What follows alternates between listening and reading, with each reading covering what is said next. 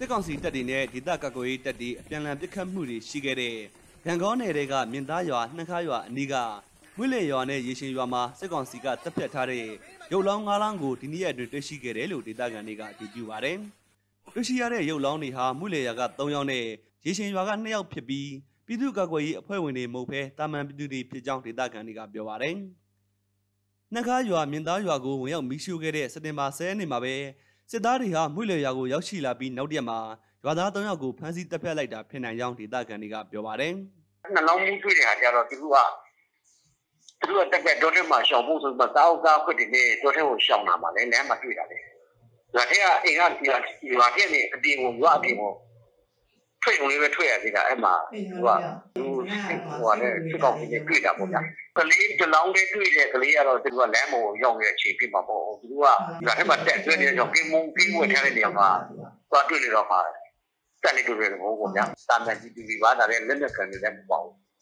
ရုပ်လောင်းတွေကိုတော့စက်တင်ဘာ23ရက်နဲ့14ရက်မှာတွေ့ရှိခဲ့တာဖြစ်ပြီးအသက်30ဝန်းကျင်ကိုဦးသူနဲ့အသက်50အရွယ်ဦးမောင်ရွှေတို့ရဲ့ရုပ်လောင်းတွေမှာ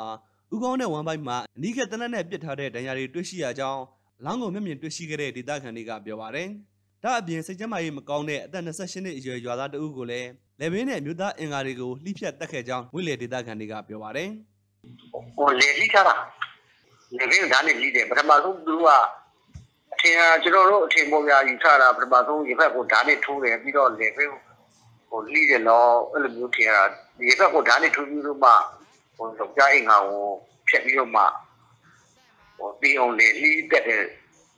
တဘောလို့လည်းယူဆလို့ရတယ်ကျွန်တော်ကတော့။ရေရှင်ရွာသားတွေဖြစ်တဲ့အသက်28နှစ်အရွယ်ကိုဖိုးဖြူနဲ့ကိုနိုင်လင်းထွန်းတို့ရဲ့ရုပ်လောင်းတွေကိုစက်တင်ဘာ14ရက်နေ့မှာရေရှင်ရွာနဲ့9မိုင်အကွာမှာရှိတဲ့ရေရှင်မရွာအနီးတစ်ဝိုက်ကရှုခင်းသာကုန်းကျွန်းတော်ထဲမှာတွေ့ရှိခဲ့တာဖြစ်ပါတယ်။သူတို့နှစ်ယောက်ဟာဂံကောမြို့မှာအလုပ်လုပ်နေတဲ့သူတွေဖြစ်ပြီးစက်တင်ဘာ10ရက်နေ့ကရွာကိုပြန်လာတဲ့အချိန်မှာတပ်ဖြတ်ခံရကြောင်းဒေသခံတွေကပြောပါတယ်။ သူကဒီလိုရကဲခုမှ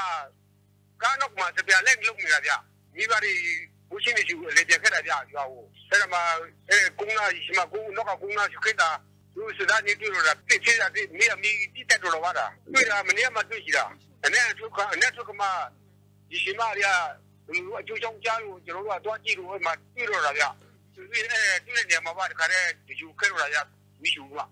စစ်သားတွေကရွာသားတွေကိုတက်ခဲတဲ့အပြင်အသက်ခံရတဲ့သူတွေနဲ့အတူပါလာတဲ့ပတ်စံလေးသိန်းနဲ့ဖုန်းတွေပါယူဆောင်သွားတယ်လို့ဒေသခံတွေကပြောပါတယ်ခင်ဗျာ။